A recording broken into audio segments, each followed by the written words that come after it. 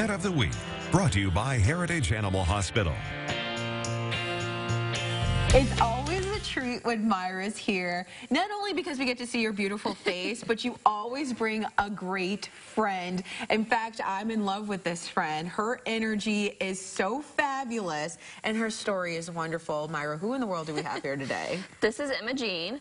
Uh, she's about a year and a half old, just a little mixed breed. Um, but when she came in, she was actually injured. Mm. Um, her paw, basically half of it had been cut off by something. Um, so when we took her to the vet, they said that what bones were left were basically disintegrating. Oh my gosh. Um, so they said that the only way that they could really help her recover would be to amputate it. So she had to have her leg amputated all the way up to the shoulder. Oh my goodness. And even though she she may have lost her her leg, her spirit is just vibracious. Like, I mean, she hasn't met a stranger yet. Like, no, you know. she is so friendly. She's outgoing, and she doesn't let it slow her down at all. She'll still get out there and run and play, and she can jump up. Like on the way here this morning, she jumped right up in the van. Um, so you wouldn't even notice that she's got three legs until she stops moving. Oh my goodness. And is, what type of environment do you see her in?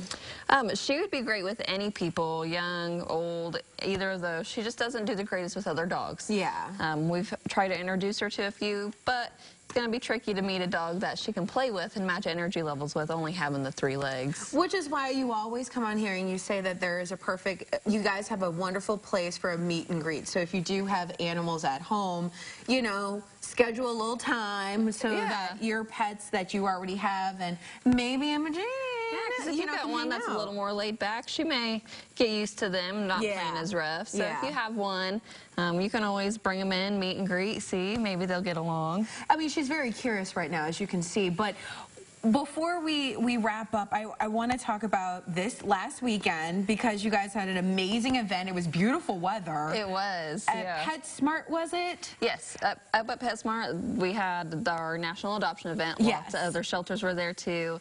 Um, and I think everybody had a great weekend, and we had almost 20 adoptions. Oh my goodness. Now we're getting into the spring months, which means bring on the puppies and the kittens.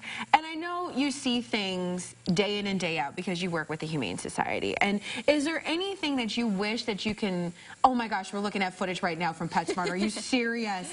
Oh my good, look at that that's smile. Cupcake. Cupcake's still at the shelter. She did not get adopted over the weekend. But that's what I love because that picture actually came from your website, which is something cool that you guys do. I like to call your website like a dating website, you know, for your animal. Anytime you need any information about an animal that you might see here on the show, you guys are always posting it on your Facebook and your website. So that's pretty cool. Before we wrap up, is there any advice you want to give to our viewers at home about things that, you know, you wish that people knew before they walked in? Yeah.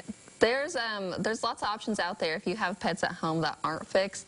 Um, especially getting into the spring mm -hmm. spring season. There are lots of low cost options out there to get them fixed, and then just be cautious when they're outside because um, there's so many accidental litters yeah. that happen. So just watch them if you have pets at home that aren't fixed yet. See, it's all we always learn something here with Myra. So Myra, where can folks find you? We are at 2425 North Section Street, right off of the exit in Sullivan, so we're easy to find. And of course, hours of operation are there on the uh, screen, phone number. You just saw their beautiful, active Facebook, and once again, I mentioned their website. It's if you need any information, just give them a call or check out online. Oh my goodness! I told you guys you guys are always great with the website, but this time, Jean needs a home, right? Yes, she does. She needs a home. Jean, it's your time to shine now. Oh my goodness, look at that face just hanging out.